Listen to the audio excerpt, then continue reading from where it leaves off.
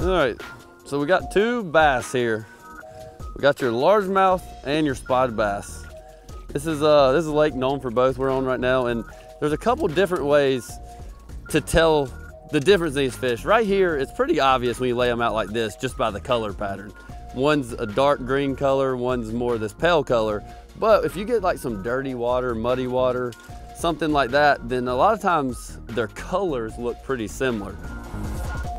So the largemouth, their jaw always extends back past their eye. In their mouth here, on their tongue, it's got it's kind of it's got a lump but no tooth. I'll show you on the spot in a second, but it's smooth, essentially smooth on their tongue. That's the second way. And the third way is this back is this fin right here. It comes down and it basically ends before it goes to this fin. So there's just a gap here. You can see right there, it just goes all the way down. So now I'm gonna pull this spot out and show you the differences.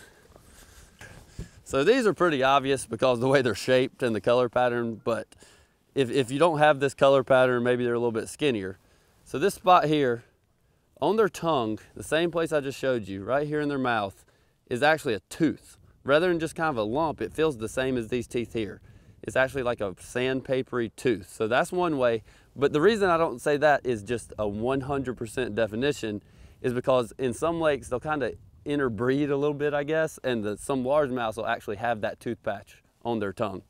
So then their back fin here, you can see this fin, it still goes down, but it actually does not connect back to their body. It extends on to this fin. As you can see right there, it connects with quarter inch up or so. And then when you close his mouth, it's right there even with the eye, not back past it. So that's the uh, pretty much telltale. These spots, I mean, they look, most of the time they look a lot different. This is more of a bluish green fish. He's got the really, really white belly and they're generally chunky like this. So I'll pull them both out, get one more shot so you can see them beside each other. Pretty obvious color pattern, but you wanna look at the tooth patch on the tongue, the back fin, where one connects, the largemouth connects back to his body, the spot does not. So the spotted bass here, the jawline is right even with his eye. The largemouth, you can see this back jaw extends past his eye.